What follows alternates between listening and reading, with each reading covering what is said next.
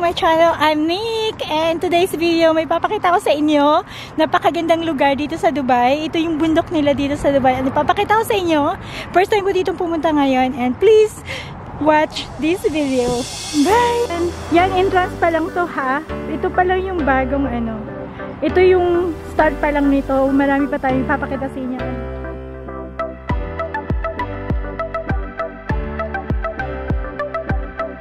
Ayan yung mga kasama ko. Ayan, nagpipicture-picture sila.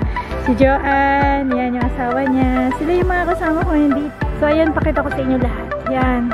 Dito ako sa gitna nitong bundok na to. Nasa gitna ako ng bundok. Yan. Ang ganda. Ang ganda nito. Grabe. Yan, nagbibideo ako sa inyo. Yes. So, welcome back to my channel. so, this is Joanne, Freddy, husband of Joanne. Pakita ko sa inyo yung bangin. Wait lang. Dito. Give me, I'll take the picture from here. Yeah. Wait lang. Give me, give me.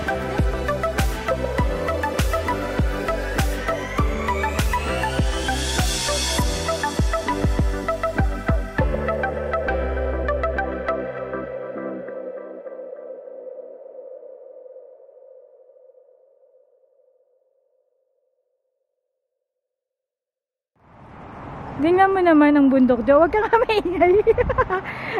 Sanay ako sa bundok. Huwag ka mag-alala. Okay, take care. Yeah.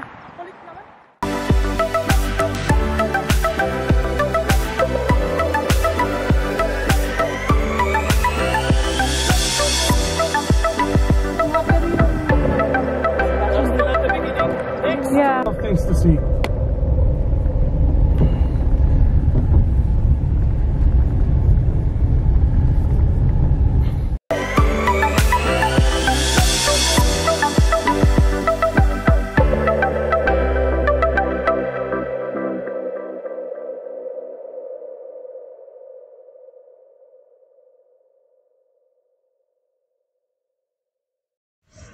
So yun, nandito na nga kami sa loob ng car at ayan, nakapaligid sa amin yung bundok.